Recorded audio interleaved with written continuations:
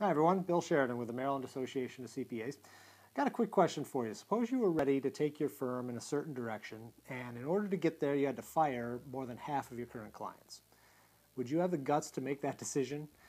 I ran into a guy recently who actually did. His name is Michael Hsu. He runs an outfit called DeepSky Accounting. It's based in California. And I ran into him at the uh, AICPA's Tech Plus conference and practitioner symposium in Las Vegas. And he actually did that a couple of years ago.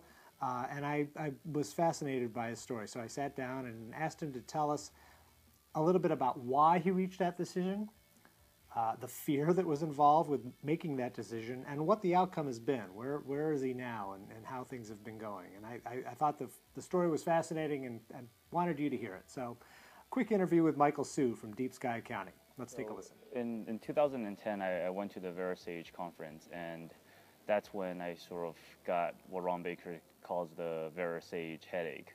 And, and, I, and I, sat, I was sitting in that conference room and I'm thinking, I've, I've, I've gotten all wrong. You know, I've, I've done it all wrong. And, and this was literally a year, a little bit more than a year after I started my company. And what I had realized that I was doing wrong was I was doing fixed pricing.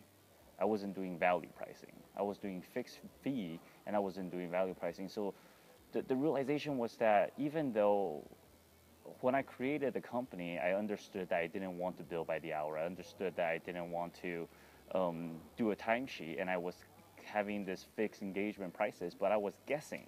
That's what I was doing. I was guessing about um, really how many hours is going to take, what is my you know DNI, and then this is the price. What what I should have been doing was understanding the customer even more, and then and then um, and then price based on based on their value, based on the value that we're creating.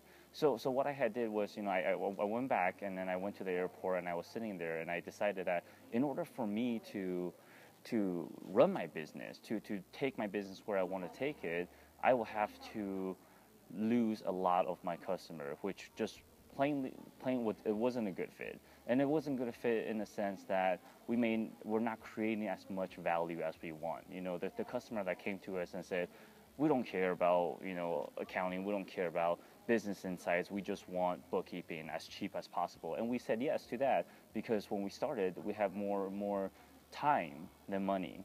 So so I and even though it, looks like a good revenue stream and another thing that that I have learned is bad customer drives out good customer. And that was super important. That was super important for me to finally understand.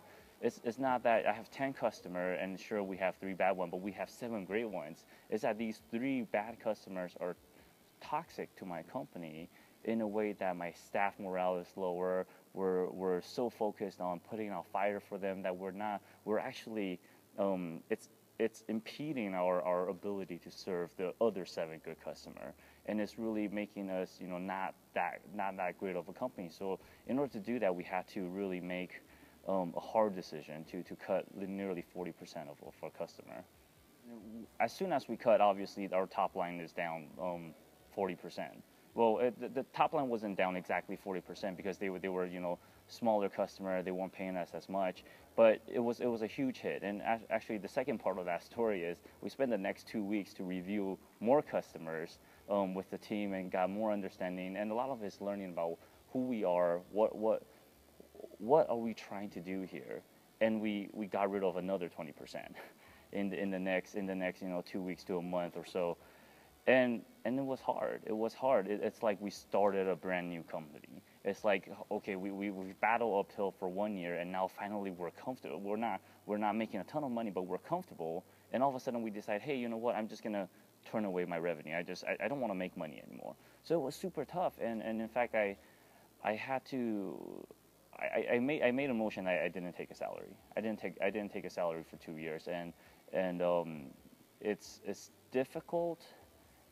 And there are just days, and and it's, it's like devil, it's like the devil was testing me, right?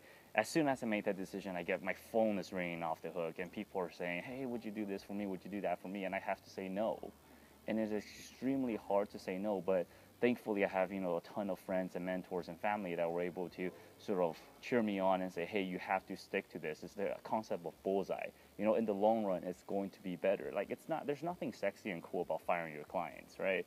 It's it's tough But in the long run, a year later, fast forward a year later, um, we're we're at the same revenue.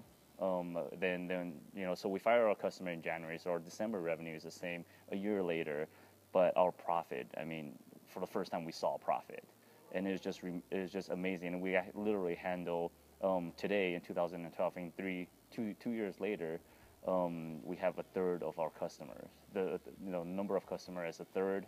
Revenue is well, revenue this year is more, and profitability is is there. I think the big lesson that I learned was I you have to understand, or I have to understand what business I am in. You know, what am I trying to create here? Because every business is built to create value, right? So what kind of what's my value proposition? What is my business? And and you really have to understand that in order to focus um, time and money.